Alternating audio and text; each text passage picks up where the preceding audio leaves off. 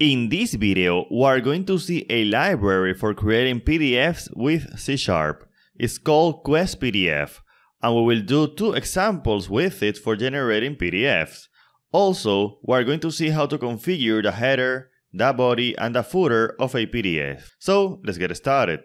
Alright, so let's create a console application. Let me double click on console app, create PDF, and by the way, you can find the code of this video in the GitHub repo in the description of this video. So we're going to use .NET 7 create. Alright, so let me put some space here. The first thing that we need to do is to install the Quest PDF NuGet package. So let's go to the Solution Explorer, right click on the project, manage NuGet packages. Let's go to browse and let's say Quest PDF. Click on here, Quest PDF, install. I accept Alright, so let's come here and the first thing that we need to configure is the license that we're going to use. We can use a free license, which is the community license.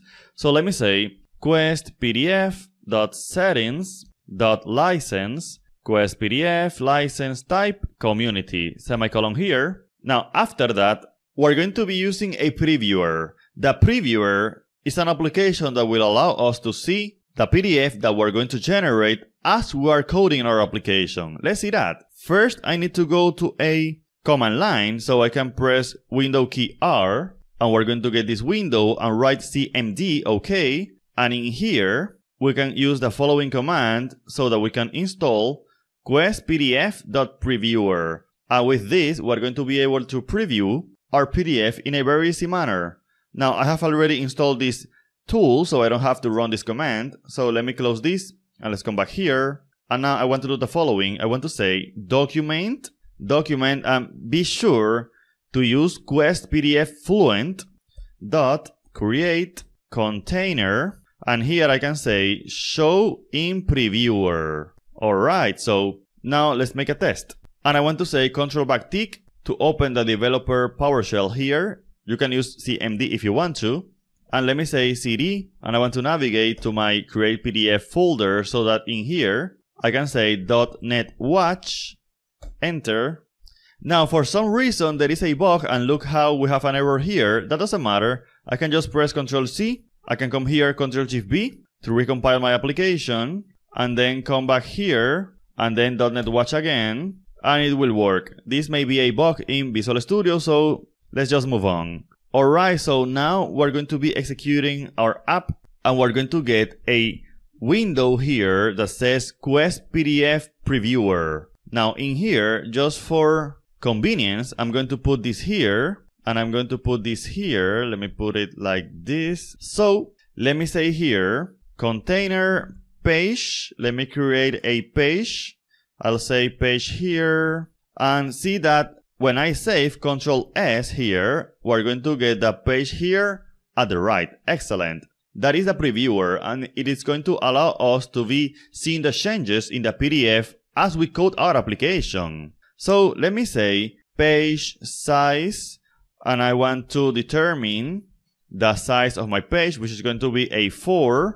So A4 which is the standard size for pages. Let me bring this namespace and then after that, I want to put a header. Header, text. The first example is going to be a hello world. So hello world, semicolon, save. And see that we have hello world here. Now, it is very small, so I want to increase its size. So let me say here, bold, font size, font size, 35.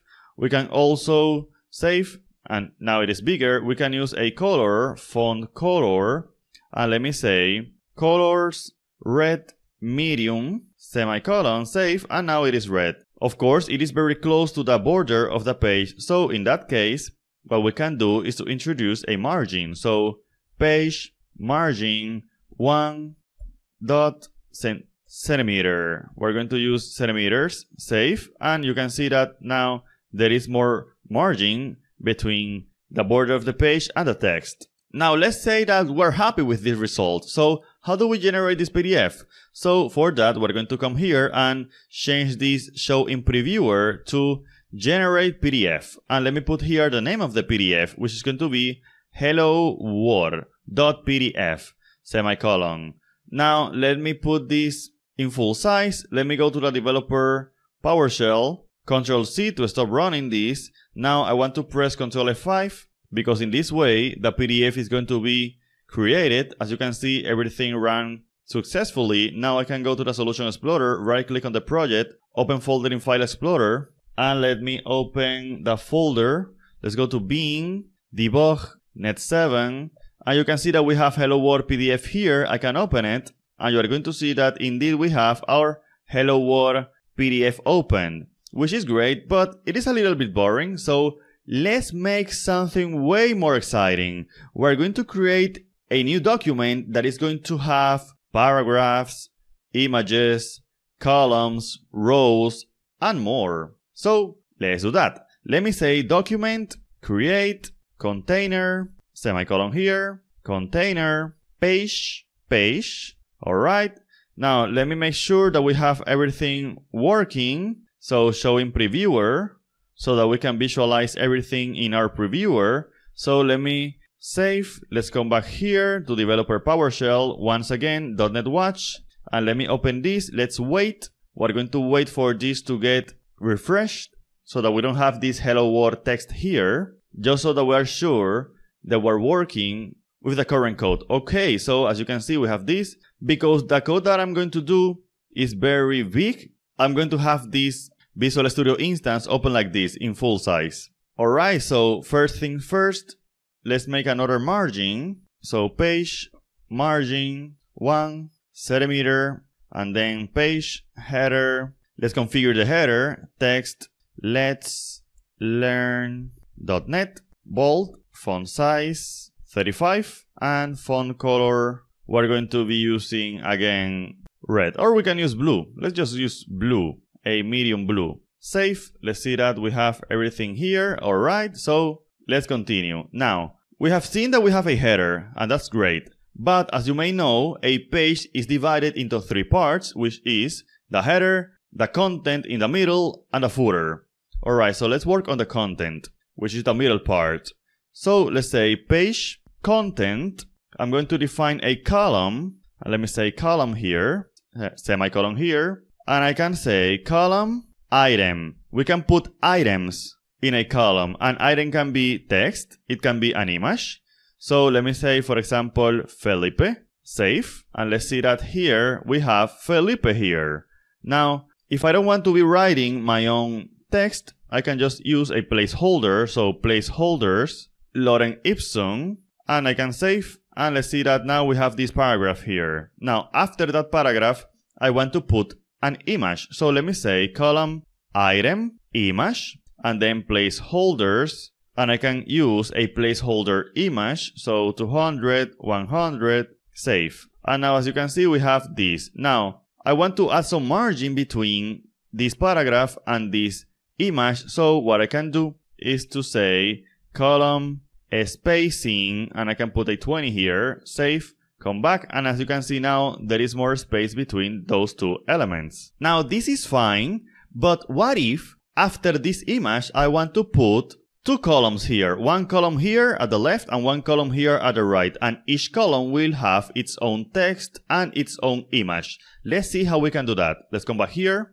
and here after the second item I want to put a third item. But that item is not going to be a text, it's not going to be an image, but it's going to be a row. And a row will allow us to create columns inside of that row. So let's do that.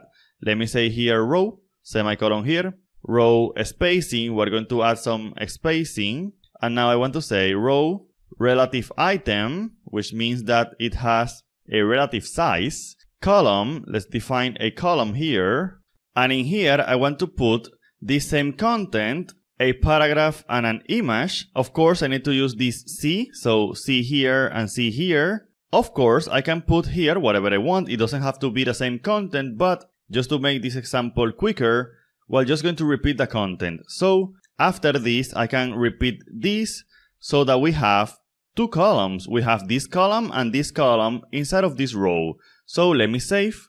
Let's see that everything is here working correctly? It is not. So let me say yes, so that we can restart our app. After that, let's come back here And you're going to see that, yes, we have our header, our paragraph, and image, but after that we have more text and images, but in separate columns, which was what we wanted. Can we have three columns? Of course, let's do that. We just have to repeat this code. We want a new row, okay, so we want a new row with three columns. So let me copy this. Let me create a new row here. Okay, so we have our new row. Now we want three columns in that row, right? So let me just copy this and paste it here. And now we have one, two, and three columns. So we have one row and three columns in here. And it is that easy. Yes, it is that easy. Let me save. Let's come back here. And now we're going to see that we have our page one, but now we have a page 2, of course, because there is no more space here in order for us to put all of this content here. So a new page was created, which is excellent. I didn't have to program that. And as you can see, we have three columns here. And as I mentioned before, the header is here also because the header is a common element of every single page in the PDF so that we're going to have it in all pages. If you don't want to have this in every page, then it means that it shouldn't have been a header. Now we have a header, content, but we're missing a footer. Let's create a footer. What I want to do with the footer is to put the current page and the total number of pages. So let's do that. We have here a header, we have here the content. Let me collapse this. And now I can put here a footer, footer. Alright, something that I want to do with this footer is to have it align at the center. So align center. Alright, so text. I want to put some text. I can do this like this and then in here I can say x dot current page number alright so current page number x dot span and I can write here this semicolon total pages. And that's actually it. Save and let's see that now we have 2 out of 2 and page 1 of 2 as you can see we're able to configure the footer of all of the pages of our document with this simple code that we have here. Now, in the next video, what I want to do is to create an invoice so that we have a header for the invoice, but we also have a detail with items on each row and a total at the end. If you want to learn more about .NET, buy my Udemy course today. I have courses on C Sharp, Blazor, React and Web APIs, and more. Link with a discount to all of my courses in the description of this video. Thank you.